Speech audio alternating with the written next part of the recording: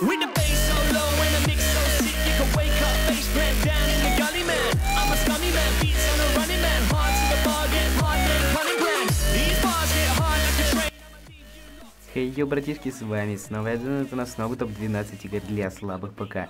Я знаю, что у многих из вас очень слабые системы, они не тянут даже давнишние игры в хорошем FPS и в хороших настройках. Это топ специально для вас, тут все абсолютно новые игры, однако они все идут на слабое железо, так что я думаю, это идеальный топ, как обычно.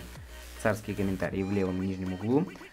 Чувачки, которые прислали мне треки для этих видео, спасибо вам большое, в правом нижнем углу.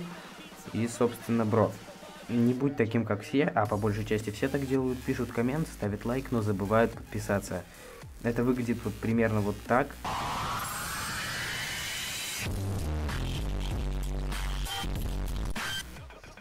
И это не круто, так что обязательно поставь лайк, подпишись, расскажи друзьям и напиши годный комментарий, чтобы он попал в царские комментарии. Это, в принципе, несложно.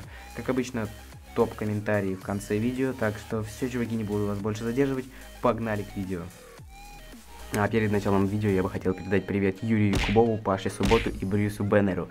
Да, спасибо вам, ребят, за то, что репостнули данный видеоролик. Не забывайте, что если вы репостните просто из моей страницы ВКонтакте видеоролик себе на страницу, то изи получите привет.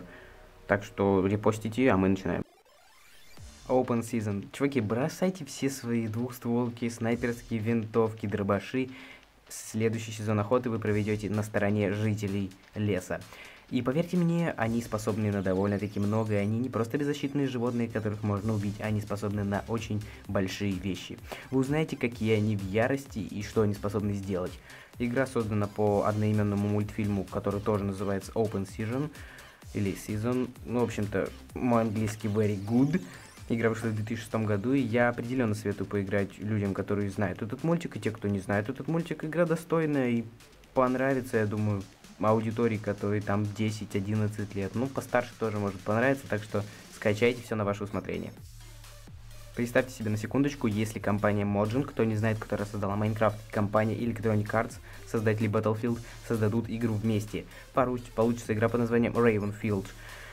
Ни в коем случае не хочу обидеть эту игру, это очень достойная игра, и боже упаси, чтобы когда-нибудь Mojang и Electronic Arts создали что-то вместе, но забудем. Эта игра очень многим похожа на Battlefield, однако в графической части она намного проще и менее требовательна, и именно это дает ей возможность быть на голову выше, так как самый древний компьютер сможет потянуть эту игру, вышедшую в 2017 году, да еще и новенькую, так что зайдите, я думаю, вам даже понравится, и графика как раз тут пиксельная, но это никак не портит геймплей.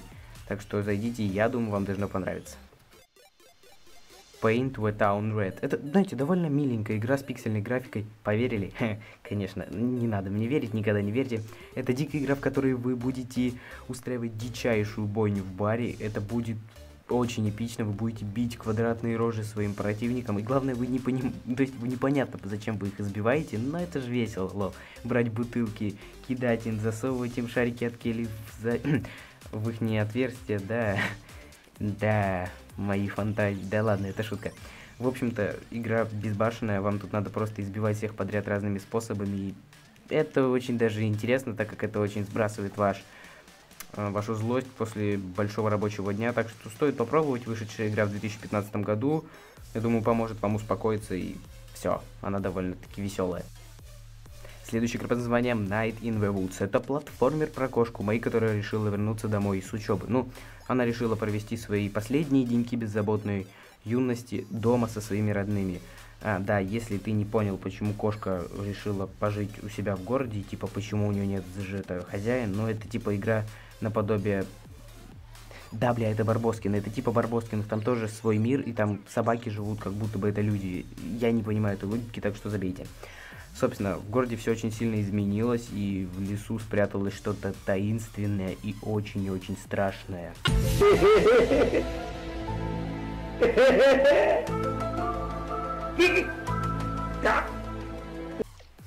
И как раз, да, игра вышла в 2017 году, она тоже относительно новенькая, так что скачайте, попробуйте, я думаю, вам должно понравиться, и очень страшное спряталось в лесу. На следующем месте игра под названием Mark of Ninja. Это очень быстрый в то же время, скажу вам, ребятки, очень вдумчивая игра, в которой вам надо будет подумать. Это у нас стелс-игра про ниндзя, у которого клан распадается, его клану конец, и он, собственно, чтобы его клан не распался, не умер, чтобы у него все было хорошо, вам придется следить за своими врагами и манипулировать ими всякими разными способами, понятное дело, ниндзя. Игра стелс и в то же время очень даже живая, то есть вам тут надо очень быстро двигаться, очень быстро на что-то реагировать, и в то же время нужно сидеть в каких-то местах очень долго, выжидать противника, довольно хорошее сочетание и довольно интересная игра, которая вышла в 2012 году. Так что попробуйте, я думаю, вам должно понравиться. Игра довольно достойна вашего внимания. Следующая игра под названием Pillars of Injury. Это ролевая игра с открытым миром. Действие происходит в вымышленном мире. А, и в игре очень, чуваки, хорошая тактическая боевая система. То есть вы можете остановить бой и э, раздать приказы подчиненным. Да, огромная карта с множеством дополнительных квестов. И графика не обидит, чуваки. Графика достойная и понравится многим игрокам. Тем более игра вышла в 2015 году с очень хорошей графикой.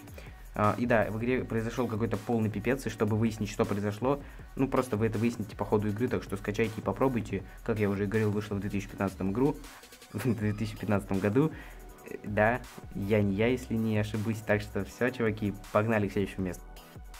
Следующая игра под названием Door Kickers Action Squad. Тут вы будете играть за главного и будете руководить более тремя оперативниками. Ну, руководить вы будете своеобразно, но у каждого свои методы, у каждого свои стили.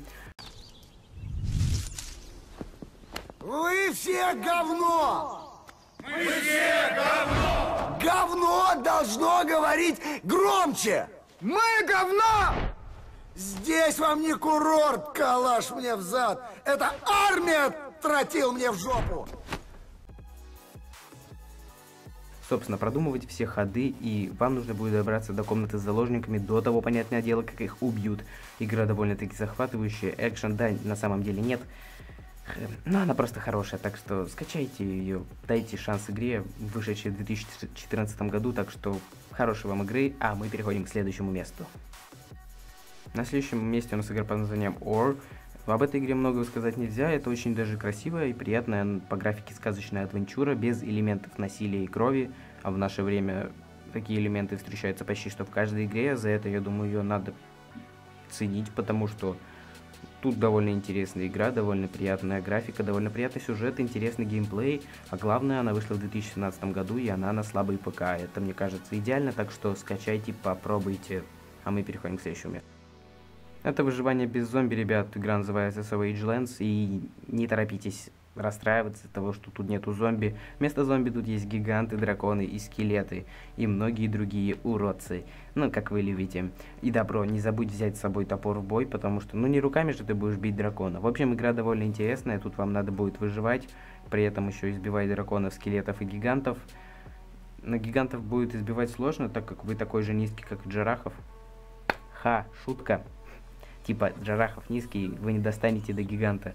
В общем-то, игра вышла в 2015 году, и я думаю, она понравится любителям выживания и мордобоя, так что скачивайте.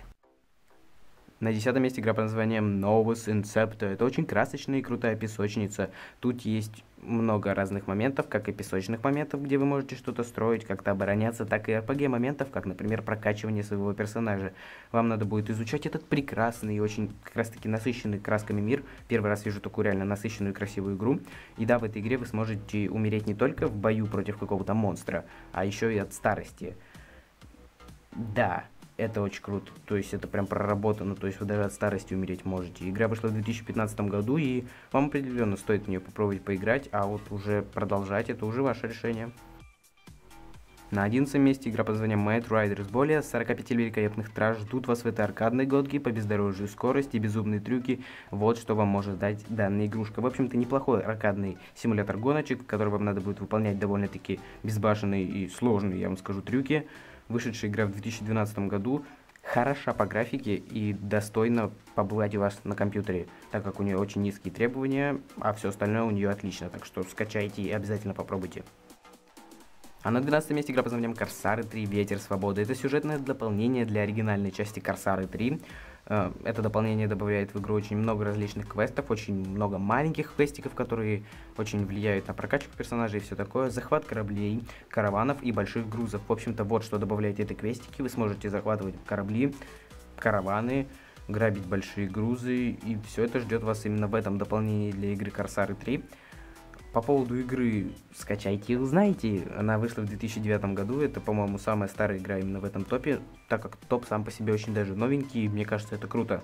Достойно лайка, потому что сейчас очень сложно найти новые игры, и при этом для слабых ПК, и при этом с хорошей графикой и неплохим сюжетом. Так что игра достойная, скачайте, попробуйте. Да. Ну и что ж, всем спасибо за просмотр, с вами был снова Эден Лайт, это у нас был новый топ-12 игр для слабых ПК, я надеюсь он вам сильно понравился, так как я над ним старался, старался добавить частинку юмора, всего такого.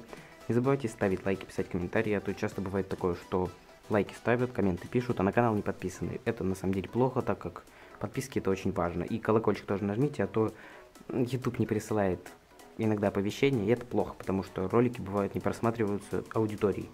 Так что обязательно нажмите на колокольчик, ну, на всякий случай. Так что всем спасибо за просмотр, с вами был снова Дэн, всем пока, бро. Лайк поставь и подпишись. Колокольчик снизу. Ты не забудь. Репост нажми. Скажи друзьям. Нашел я игры на свой ПК. Бро, лайк поставь и подпишись. Колокольчик снизу. Ты не забудь. Репост нажми. Сказав друзьям. Нашел я игры на свой ПК.